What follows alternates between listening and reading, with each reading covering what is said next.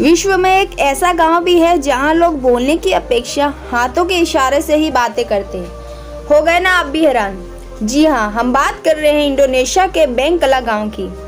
बैंकला गाँव के लोग सिर्फ़ हाथों के इशारों से बात करते हैं। इस गाँव के लोग हाथों के इशारों से ही अपने सुख दुख को एक साथ बांटते हैं। बैंकला गाँव के लोगों को डीप विलेज के नाम से भी जाना जाता है।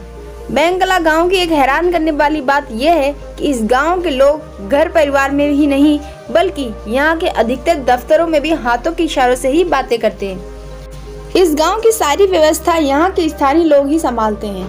बैंकला गाँव में बोली जाने वाली इस सांकेतिक भाषा को काटक कोलाक भाषा कहा जाता है। ऐसा माना जाता है कि ये भाषा सैकड़ों साल पुरानी है। बैंकला गाँव के अधिकतर लोग बोलने और सुनने में सक्षम नहीं है। इस गाँव के बच्चे जन्म से ही बोलने और सुनने की बीमारी से ग्रस्त हो जाते हैं।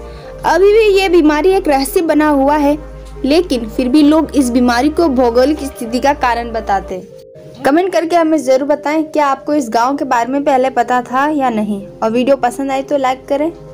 चैनल में रहे हैं तो सब्सक्राइब करें। तो मिलते हैं नेक्स्ट वीडियो में। Bye bye